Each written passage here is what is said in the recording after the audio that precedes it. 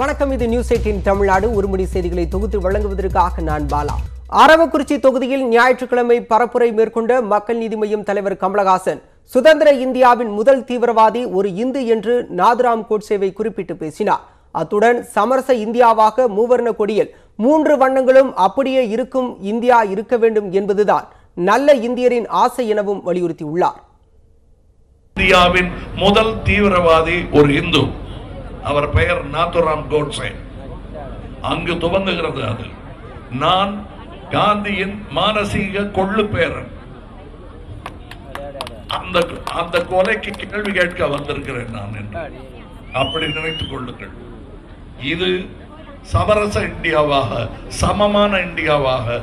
நான் சொன்னேனே அந்த மூவர்ண கொடியில் மூவர்ணங்களும் அப்படியே இருக்கும் ஒரு இந்தியாவாக இருக்க வேண்டும் என்பதுதான் நல்ல இந்தியர்களின் ஆசை நான் நல்ல இந்தியன் மார்தட்டி சொல்வேன்.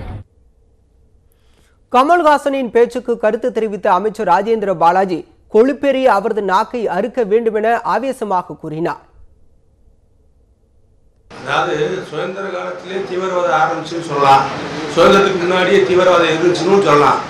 அது தப்பு இல்லை முதல் சுதந்திரத்துக்கு முன்னாடி முதல் தீவிரவாதியை இந்துதான் சொன்னது வந்து கமலஹாசனுடைய தடித்த உதடுகளுக்குள் இருக்கின்ற அந்த கொழுப்பேறிய நாக்கை இந்துக்கள் அறுக்க வேண்டும் என்பதற்கு அவர் உசுப்பேற்றி விடுகிறார். இந்துக்களை. கமல்ஹாசனின் நாக்கை துண்டிக்க வேண்டும் என கூறிய பால்வளத்துறை அமைச்சர் ராஜேந்திர பாலாஜிக்கு மக்கள் நீதி மையம் கண்டனம் தெரிவித்துள்ளது. அத்துடன் அவரை அமைச்சர் பதவியிலிருந்து நீக்க வேண்டும் எனவும் வலியுறுத்தப்பட்டுள்ளது.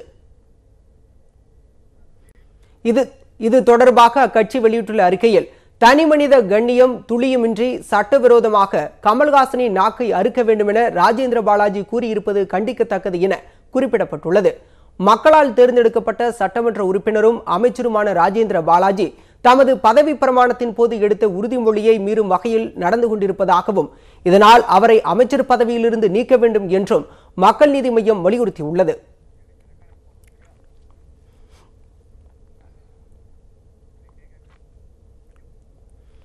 அமைச்சர் ராஜேந்திர பாலாஜிக்கு மக்கள் நீதி மையம் கண்டனம் தெரிவித்துள்ள நிலையில் நமது தொலைக்காட்சிக்கு தொலைபேசி வாயிலாக அவர் அளித்த பேட்டியை இப்போது காணலாம். சார் வணக்கம். ஒரு அமைச்சராக இருந்து கொண்டு இப்படி ஒரு சர்ச்சைக்குரிய கருத்தை தெரிவித்துள்ளீர்கள். இது மக்கள் நீதி மையம் சார்பில் கண்டனம் தெரிவிக்கப்பட்டுள்ளது. பதவி பிரமாணத்தின் போது எடுத்துக்கொண்ட உறுதிமொழியை நீங்கள் மீறிவிட்டதாக அவர்கள் குற்றம் சாட்டியுள்ளனர். நீங்கள் இதை எப்படி பார்க்கிறீர்கள்? அதாவது நான் கேட்டது போல பேசுறேன் பருவத்துறை அமைச்சர். அதாவது வந்து ஒரு கண்ணியமிக்க பேச்சை கமலஹாசன் பேசி இருந்தா நான் இவ்வளவு கடுமையான வார்த்தையை பயன்படுத்தியிருக்க மாட்டேன். ஒரு கட்சியை நடத்திக்கிட்டு ஒரு கட்சியை ஆரம்பிச்சு அதுல வேட்பாளரை நிப்பாட்டிக்கிட்டு ஒரு மேடையில ஏறிக்கிட்டு இந்த மாதிரி வந்து சுதந்திர இந்தியாவுடைய முதல் பயங்கரவாதியே ஒரு இந்து தான் சொல்லி இந்துக்களுடைய மனதை புண்படுத்தினால் இந்துக்களுடைய கோபம் இப்படி வெளிப்படும் என்ற எண்ணத்தில் தான் நான் சொன்னேன். இப்படித்தான் வெளிப்படும். அதாவது வந்து ஒரு எந்த ஒரு மதத்தையும் கடுமையான வார்த்தையால் வந்து தீவிரவாதத்தை உண்டாக்குவதை போல பயங்கரவாதியா ஒரு மதத்தை சொன்னால் அதற்கு அந்த மதத்தைச் சேர்ந்தவர்கள் கடுமையான கண்டனம் தெரிவிப்பார்கள். இது போன்ற ஒரு செயலில் ஈடுபடுவார்கள் என்ற கருத்தை தான் சொல்லி அவருடைய தடித்த அந்த அந்த நாக்கை அறுக்க அறுக்கிறதுக்கு மக்கள் தயாராகி விடுவார் என்ற கருத்து சொன்னது வந்து அவர்களுடைய தவறை சுட்டி காட்டுவதற்கு வலிமையான ஒரு வார்த்தையை பயன்படுத்தினேன். இதுல ஒன்று தவறு ஒன்றும் கிடையாது. என்னை பதவி நீக்கம் செய்வதற்கு அதிகாரம் இவருக்கு என்ன இருக்கிறது? நான் வந்து சட்ட சட்டப்படி அரசியலமைப்பு படி பதவியத்திற்கு தகுந்தபடி நடந்து கொள்கிறேன். இவர்தான் ஒரு கட்சியை நடத்தக்கூடிய கண்ணியமிக்க தலைவராக இல்லாமல் கண்ணிய குறைவான வார்த்தைகளை பயன்படுத்தி இந்துக்களுடைய மனதை புண்படுத்துகிறார். மற்ற ம- மதத்தைச் சேர்ந்தவர்களுக்கும் இந்துக்களுக்கும் சண்டை இழுத்து விடுகின்ற ஒரு பயங்கரவாத செயலில் இவர்தான் ஈடுபடுகிறார்.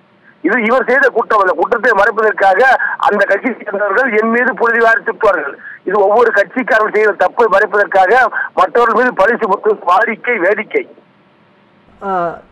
திரு ராஜேந்திர பாலாஜி ஒரு நாளாந்திர பேச்சாளர் மாதிரி நீங்கள் பேசியிருக்கிற மாதிரி மக்கள் நீதி மையம் சார்பில் கண்டனம் தெரிவிக்கப்பட்டுள்ளது. ஒரு அமைச்சர் பொறுப்பான கருத்துக்களை இப்போது ஒரு செய்தியாளர் சந்திப்பின் போது பேசியிருக்க வேண்டும். ஆனால் அதை மீறிவிட்டதாக அவர்கள் கூறுகிறார்களே. இல்ல அமைச்சர் வந்து நாலாந்தர பச்சாளர் மாதிரி பேசல. அமைச்சர் மக்களுடைய பேச்சுக்கள் எப்படி இருக்கும் கோபம் எப்படி இருக்கும் என்பதை வெளிப்படுத்தியிருக்கிறேன் நானு. கமலஹாசன் தான் ஒரு கட்சி தலைவர் மாதிரி அவர் பேசாம ஒரு கட்சி நடத்திக்கிட்டு இருக்காரு. அறுபத்தஞ்சு அறுபத்தி ஏழு வயசுக்கு மேல அவர் பேசக்கூடிய வார்த்தை அது. கோட்ஸே வந்து க- மகாத்மா காந்தியை சுட்டார் அதனால மகாத்மா இறந்து அவர் கொலையாளியாக சொல்லலாம் அவரு. பயங்கரவாதியா சொல்லி அதையும் ஒரு இந்து தான் முதல் பயங்கரவாதின்னு சொல்றது வந்து அது எந்த விதத்தில் நியாயம்? பயங்கரவாதிகள் வந்து எல்லா மதத்திலும் இருக்காங்க. எந்த மதத்திலையும் பயங்கரவாதிகள் இல்லாத மத புத்த பௌத்த மதத்தில் கூட இருக்காங்க. அதுக்காக வந்து இந்து தான் பயங்கர முதல் பயங்கரவாதி சொல்லி வந்து இந்துக்களுடைய மனதை புண்படுத்துறது வந்து இவர் மரபு மீறிய செயல் இல்லையா? திரு ராஜேந்திர பாலாஜி கமலின் கருத்தை அஹ், திமுக காங்கிரஸ் மாநில தலைவர் கே எஸ் அழகிரி உள்ளிட்டோர் வரவேற்றுள்ளனர். இதை நீங்க எப்படி பாக்குறீங்க எப்படி சார்? கமலின் கருத்தை திராவிட முன்னேற்ற கழகம் காங்கிரஸ் உள்ளிட்ட கட்சிகள் வரவேற்றுள்ளன. இதை நீங்கள் எப்படி பார்க்கின்றீர்கள்? எப்படி இந்து இந்து தான் முதல் பயங்கரவாதி சொல்றது வந்து காங்கிரஸ் வரவேற்கிறா? கே எஸ் இல்ல இந்த இந்த சுதந்திர இந்தியாவுடைய முதல் பயங்கரவாதி இந்துதான் சொன்னதை வந்து ஒரு இந்துதான் சொன்னதை கே எஸ் அழகிரி காங்கிரஸ் தலைவர் வரவேற்கிறாரா?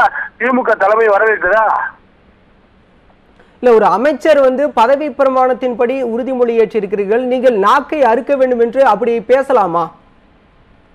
நாட்டை அறுப்பார்கள் என்றுதான் தான் நாக்கை நாட்டை அறுப்பார்கள் இவருடைய நடவடிக்கை அப்படித்தான் இருக்கிறது. ஒருத்தர் வந்து சார் ஒரு பேச்சாளர் இப்ப நோக்கி கல்லுட்டு எறான்னு சொன்னா அந்த பேச்சாளர் தரமெல்லாம் பேசினாருன்னா தான் அது கோபத்தினுடைய மிகுதியால் அவன் பட்ட வேதனையை வெளிப்பாடாகத்தான் அந்த கல்லறிகள் சம்பவம் நடக்கும். அது போன்ற செயலத்தால் கமலஹாசன் ஒரு நாலாந்தர பேச்சாளர் பட்டியல எட்டாந்தர பேச்சாளராக செஞ்சிருக்காரு. திரு ராஜேந்திர பாலாஜி தமிழின். பேச்சு மதவாதத்தை தூண்டும் வகையில் இருந்ததாக சொன்னீங்க. உங்களுடைய பேச்சும் ஒரு மதவாதத்தை தூண்டுவதாக அமைவதாக தெரிகிற மாதிரி இருக்குல்ல? நான் எந்த மாதிரி புண்படு புண்படுத்துற மாதிரி பேசலையே. இந்துக்களும் முஸ்லிம்களும் கிறிஸ்தவர்களும் அண்ணன் தம்பிகளாக ஒவ்வொரு ஆலயங்களுக்கும் அவருக்குள் பேசி போய் பழகி வந்து கொண்டிருக்கக்கூடிய நாட்டு இந்தியா. தமிழ்நாடு. அது தமிழ்நாட்டுல வந்து ம- மதச்சார்பற்றதுக்கு ஒரு எடுத்துக்காட்டா விளங்கக்கூடிய தமிழகத்துல இப்படிப்பட்ட கருத்துக்களை விதைப்பது ஒரு மதத்தை புண்படுத்துவதாகதா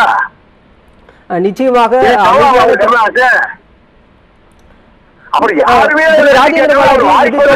முதலமைச்சர் உங்களிடம் ஏதேனும் விளக்கம் கேட்டிருந்தாரா? இல்ல என் யார் விளக்கம் கேட்கல. விளக்கம் கேட்டாருன்னு நான் விளக்கம் சொல்லுவேன் நானு. அவருக்கு செஞ்ச தப்ப மறைக்கிறாங்க.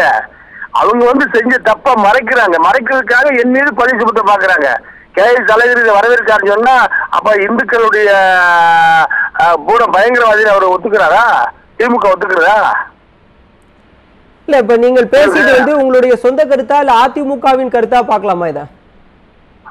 இது வந்து என்னுடைய வந்து தமிழகத்துடைய ஒரு கடைக்கோடி ஒரு இந்தியனுடைய கருத்து ஒரு தமிழனுடைய கருத்து. என் சொந்த கருத்து தான் திரு ராஜேந்திர பாலாஜி இந்த பயங்கரவாதி என்று கமல் பேசியதை நீங்கள் கண்டிக்கிறீர்கள். பாஜக சார்பில் இஸ்லாமிய பயங்கரவாதிகள் என்று அவ்வப்போது பேசி வருகிறதை நம்மால் பார்க்க முடிகிறது. அப்பொழுது என்றால் அதை நீங்கள் அங்கீகரிக்கிறீர்களா ஏற்றுக்கொள்கிறீர்களா? யார் யாரு? கமல் தரப்பில் இந்து பயங்கரவாதி என்று சொன்னதாக நீங்கள் கூறுகிறீர்கள்.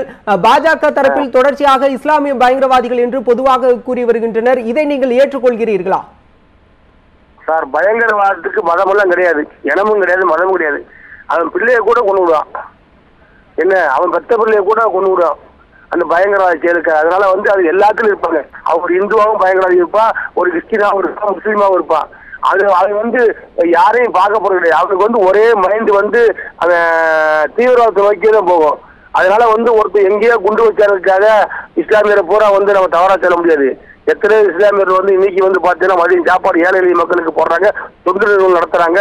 அரேபிய நாட்டில் சம்பாதிக்கிற பணத்தெல்லாம் வந்து இங்க வந்து இந்துக்களுடைய இடங்கள்ல போய் ஏழைகளுக்கு சோறு ஓடிட்டு இருக்காங்க அதே மாதிரி கிறிஸ்துவ ஆலயங்களையும் சோறு ஓடிட்டு இருக்காங்க அதே மாதிரி இந்துக்கள் முஸ்லீம்களுக்கும் கிறிஸ்துவர்களுக்கும் சோறு ஓடிட்டு இருக்காங்க இதெல்லாம் நம்ம தமிழ்நாட்டில் பார்த்துக்கிட்டு இருக்கோம்.